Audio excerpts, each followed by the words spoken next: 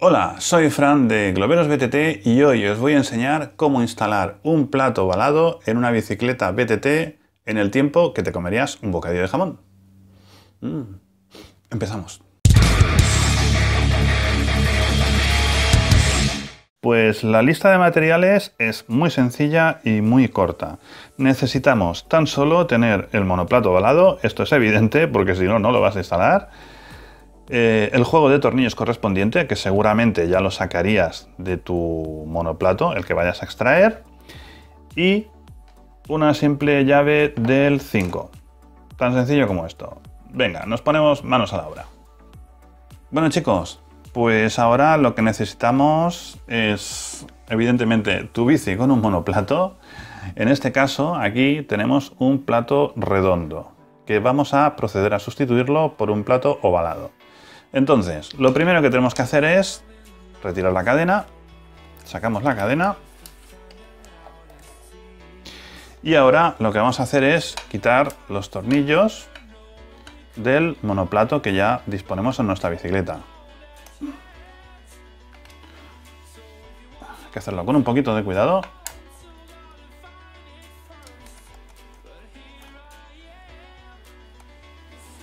Quitamos los cuatro tornillos teniendo cuidado que no se nos caigan las roscas.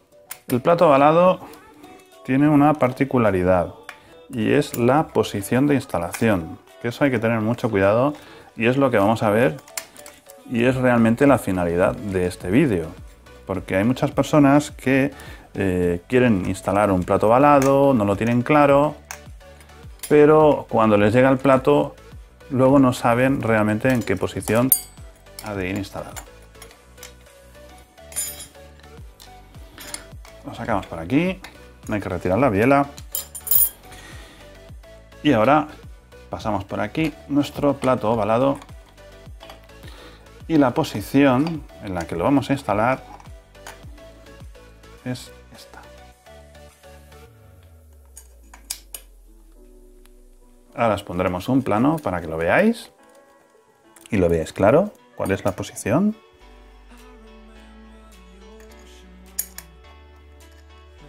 Bueno chicos, pues ya vamos con el último tornillo.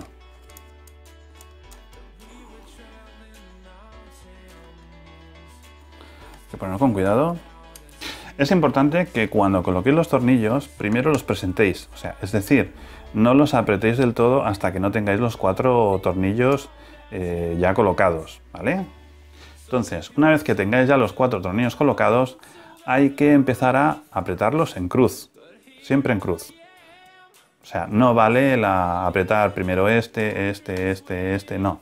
Tienes que apretarlos en cruz. Primero este, luego este, luego este, luego este. Los apretamos.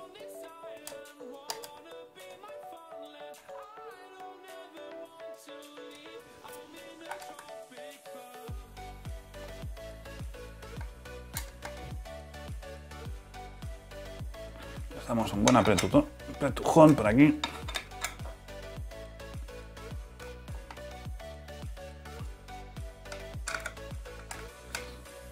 Vale.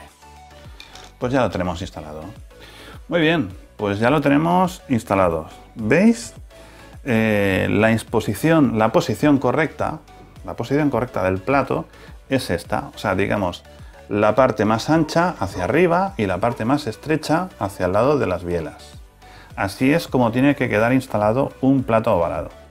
Pues ya está. Y ahora lo que tenemos que hacer es colocar de nuevo nuestra cadena y ya lo tenemos instalado. ¿Ves? Este es el efecto que produce el plato ovalado.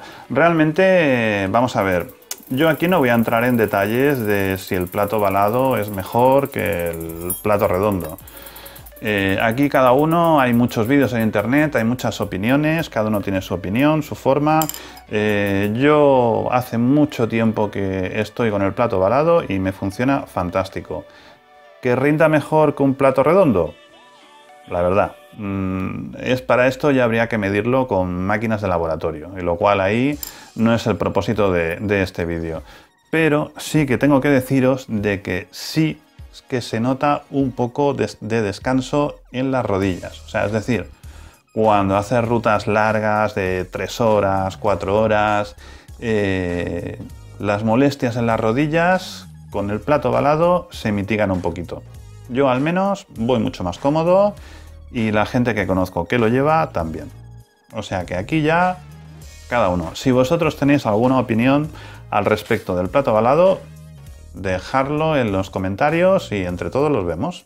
Una cosa importante ya para despedir la instalación de este plato, que como habéis visto es muy, muy, muy sencillo. No tenéis que preocuparos por el largo de la cadena. ¿De acuerdo? Porque en este caso eh, es un plato que es de mayor dientes que el que hemos retirado, pero si colocas un plato balado del mismo número de dientes del que ya tenías, no te tienes que preocupar por el tamaño de la cadena. Muy bien chicos, pues ya hemos visto la instalación del monoplato ovalado en una bicicleta BTT. Si te ha gustado el vídeo, deja un me gusta. Y recuerda suscribirte y darle a la campanita para que te lleguen las notificaciones. Nos vemos en el próximo vídeo. So